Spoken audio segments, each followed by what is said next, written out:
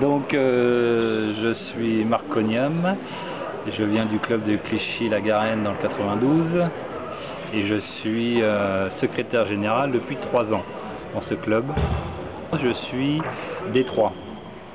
Euh, Est-ce que tu es venu chercher un point particulier dans le stage? Euh, non, mais moi j'ai beaucoup de choses à améliorer, donc je suis venu de façon générale pour améliorer un peu l'ensemble de mon jeu, que ce soit euh, le filet, l'attaque. Alors j'ai amélioré euh, mon service court, qui n'était pas assez performant.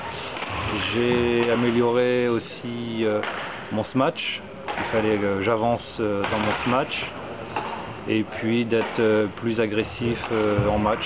Hein. Ce qui, ce qui est, ce qui est bien dans, dans- dans- dans ce stage, c'est les infrastructures, le cadre, euh, les, les gymnases qui sont très bien. Euh, voilà, le- les, les gens qui sont d'Azureva qui sont, euh, qui sont sympas. Euh, Est-ce qu'à la rentrée, il y a un objectif que tu vas pouvoir te, te fixer suite au stage? Bah, euh, moi, j'ai pas d'objectif de classement parce que à mon âge, euh, j'ai plus de bientôt 40 ans, j'ai plus euh, d'objectif de, classement. Moi, ce que je veux juste, c'est améliorer mon jeu et essayer d'appliquer en match tout ce que j'ai appris ou les 3-4 points que je viens de dire tout à l'heure là, euh, et les appliquer en match. voilà, sinon pas de pas d'ambition particulière à part dans le jeu et pas pas trop dans le classement, on va dire.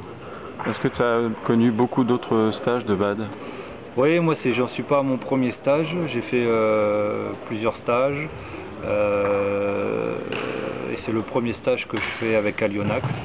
J'en referai certainement un, euh, je sais pas, en printemps ou à Noël ou à Toussaint s'il y en a, on verra, en fonction de ma disponibilité aussi. Manu Dubrul, bah, quelqu'un de très compétent, et puis je trouve aussi que c'est que ces exercices sont très euh, très réels, très je veux dire on, si on les applique on, on- on arrive à faire euh, ce qu'on veut quoi.